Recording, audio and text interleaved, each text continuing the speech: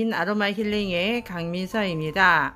어, 오늘도 추석 특집 2탄입니다. 꼬, 마 신사분들이 나왔습니다. 인사해 주세요. 안녕하세요. 오늘은 뭐 할 거예요? 발 마사지. 할아버지 발 마사지 할 거예요? 예, 그러면 자, 오늘 어떤 걸로 할 거예요? 코코넛 오일, 코코넛 오일, 라벤더, 라벤더 오일, 그리고 예준이 뭐 갖고 있어?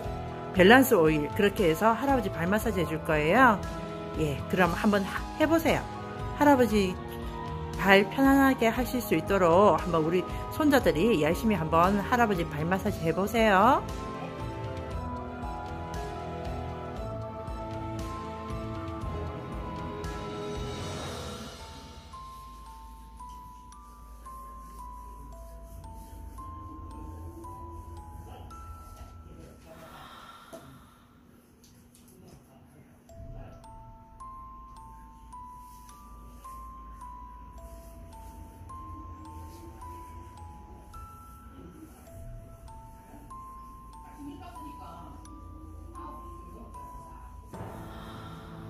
코코넛 오일을 바르고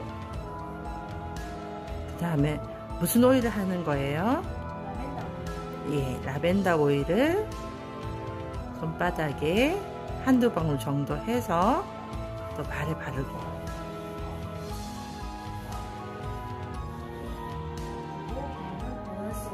밸런스 오일을 또 한두 방울 해서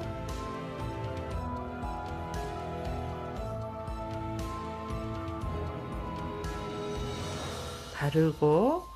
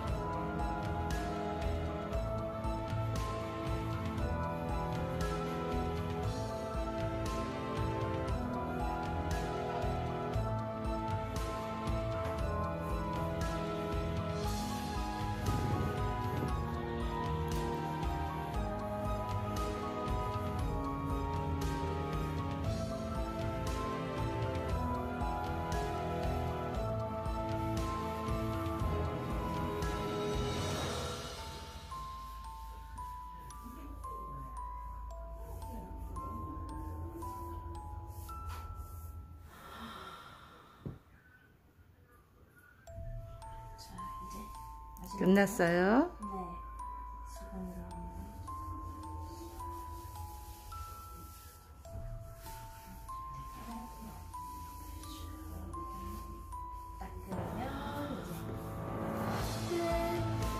예준이도 끝났어요? 끝. 어땠어요? 할아버지 발 마사지 하니까?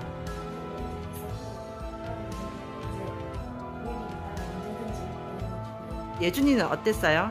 할아버지 발 마사지 하니까? 재밌었어요? 안 힘들었어요? 힘들었어요? 안 힘들었어요? 자, 그럼 다음 명절 때까지 안녕 합시다. 안녕, 안녕.